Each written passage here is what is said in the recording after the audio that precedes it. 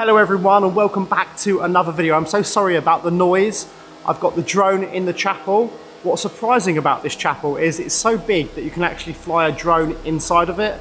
And I mean, look at this. How magnificent is that?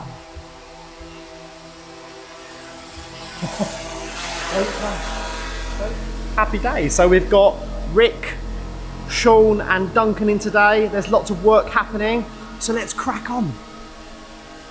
Nice and cosy, Sean? It's lovely in here, yeah. So we're currently in the toilet in the office and today Sean's going to lay the flooring in this room. So we need to remove the toilet 1st mm-hmm. But thankfully Ryan hasn't been in here this morning because we wouldn't better work in here whatsoever. I come prepared. I've All got right. the air freshener and a mask. Yeah. Thankfully, we don't need it. so we're going to try and turn the valve off on the toilet with mains water Yeah. so we can flush it and then remove it. Okay. There, there. What's that smell? There's Okay. something lurking round the rim. So I've got to turn this valve, but I can't do it by hand. Oh, there we go, it does turn. Wow. So if we turn this, it should turn off the mains water to the toilet. There we go, I think I've done it. Yeah, I've turned the water off. Done it. And then we flush the toilet. Sean's just gone to get a bag to put the toilet brush in because it's the most disgusting thing you've ever seen in your life. And we've run out of toilet paper. what am I going to do? Are you okay, Ryan? Look at that, Ryan. Look. God's sake. So I'm sat on it and Sean's carrying it. He's Let's not, just- he's not like Let's he put it. Let's put it out there so we don't have to look at it because it's not very nice to look at, is it?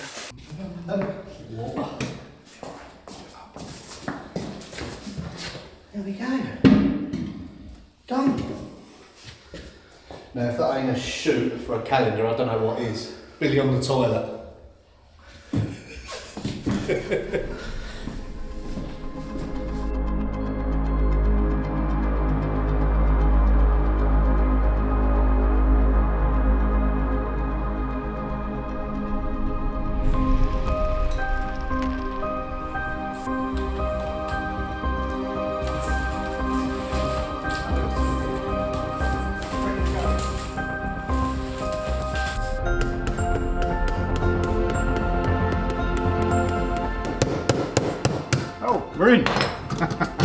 Finally.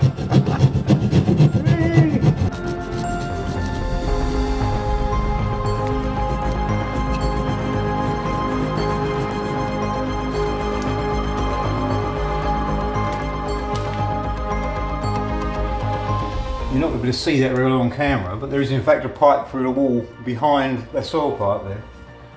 So we're going to use that as a route to get a new supply cable from this box to the uh, the mains. So it's going to have its own meter in the, in the We're in a conduit, so it's protected, isn't it? There we go. I need to go around the other side and give that a pull then. Make sure there's a slack on there. So I haven't touched it yet, right? It's already there, mate. So we should be okay. There we go. A bit of jiggling. I might have to get my arm in there. There we go. Just need a couple of We can pop out there and in the bottom. That'd be neat, wouldn't it? Like that, but in the box then. Well, in worst case, we'd come out the side there and just fix it up the corner, wouldn't we? Worst case. yeah. It's not going to be terrible, is it? In a cupboard. Perfect. Lovely. That's perfect, Duncan. Lovely. Right. That's it, mate. I shall get on with that.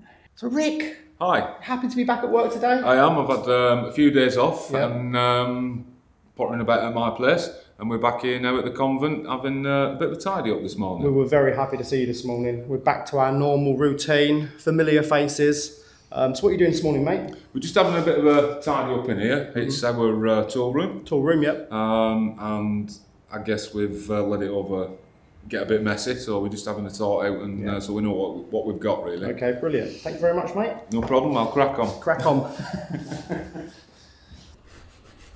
Now I'm actually laying the floor in the toilet.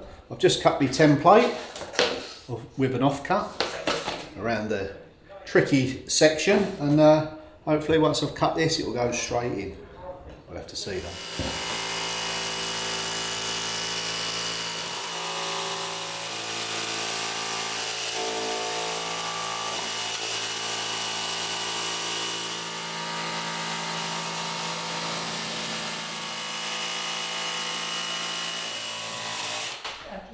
Um, Go and see. Have you got faith in me? Have you seen me work before?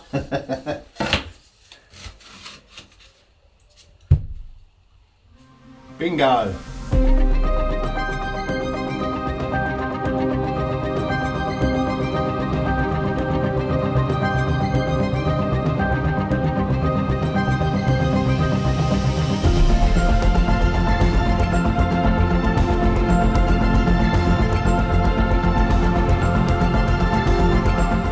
So this afternoon we're just giving this uh, door a little bit of a scrape and a sand down.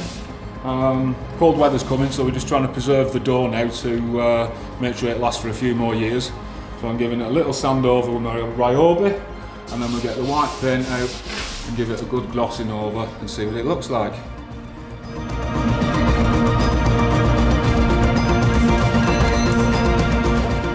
What are you doing, Duncan? Alright, I'm just measuring the, uh, the size of your room um, so I can divide it up to put spotlights in, mate. So I can, uh, we're having six spots. I don't know whether you're aware of this yet or not. I am now. there, are you?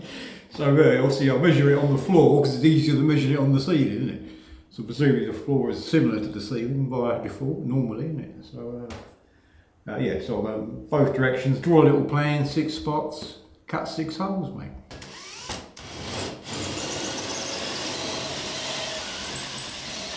There we go, one here, on the rail.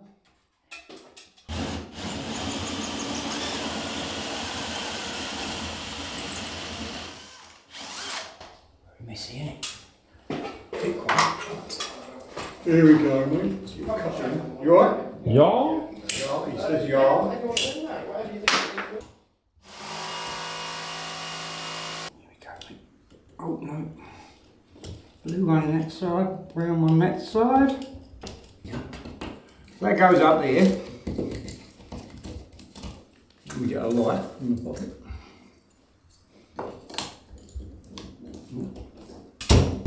It's a bit tight. but it's-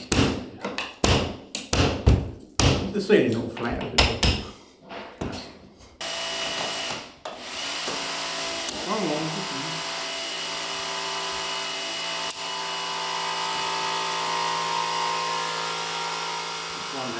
Ryan and I have reflected very hard and thought about every detail of what I'm about to say. But I'm happy to announce that we will be selling the Chateau Prints from today. The website is thepethericks.com and you will find five prints on there. We print everything here at the convent in the office. We use the highest quality photo paper available to us, which is the Canon Pro Premium Matte. And obviously the ink in this printer isn't cheap either, but I find it the best way to get the highest quality to provide to you. so um, when we scan these originals in the book, we take great care to make sure it's perfectly scanned and it's really high quality. So yeah, it's not going to be easy and this is going to be very slow going for us. So every time there's an order, we're going to have to print it, sit here and wait for it to print, um, put it in an envelope, put your address and send it to you. This isn't a quick process. there we go, look at that. So this is the size we're doing. It's A3. It's 29 centimeters by 42 centimeters. This is a really good format. It's not too big and it's not too small. It's very easily framed. It's a limited series. When they're gone, they're gone because we don't know if, you know, how it's going to work or if we're going to have time really with all the renovations. So we're only doing it for December. Every sale from the website will go towards the renovations of the convent. So it's a really good cause. These are the envelopes that they're going to be shipped in. They're cardboard. They're incredibly thick and we're going to put do not bend label on them. Um, so yeah, they'll be protected in transport. So there we go. That's the first one ready to go. So don't forget to check out thepethericks.com and you will find all of the prints available. Link in description. Link in description, yeah. Here is the original folio where we have got all the prints from. I've got some latex gloves on quickly just to protect the pages. So I'm going to show you quickly where the prints come from. So here we go. So there we go. Chateau de la Vallée de la Loire. Okay, let's go to the section where we have all the prints. So there's 93 prints in this volume in total. That's two volumes throughout the book. You can see all these magnificent chateaus. They're so beautiful. Look at this one, for instance, Saligny.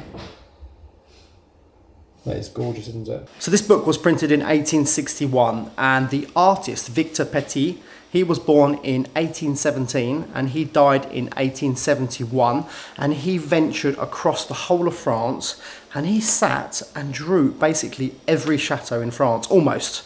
Um, and he did a lot of architectural design and things like that. His um, original drawings were used to create so many buildings in France because ideally he was an architect, so he drew up plans of like an ideal French houses. There are many volumes of his work. They're in museums across the whole world and he's a very celebrated artist.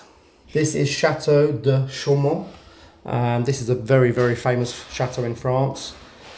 I believe it was up for sale recently, but it needs a lot of work. Um, there are so many beautiful chateaus in this book. Unfortunately, we don't have the time to scan every single one of them. Maybe in the future we can include more, but at the moment it's a limited series. Wow, look at this chateau. It's amazing. How do you pronounce that, Ryan? Courtanvaux. Cotonvaux. Okay, Chateau de Cotonvaux.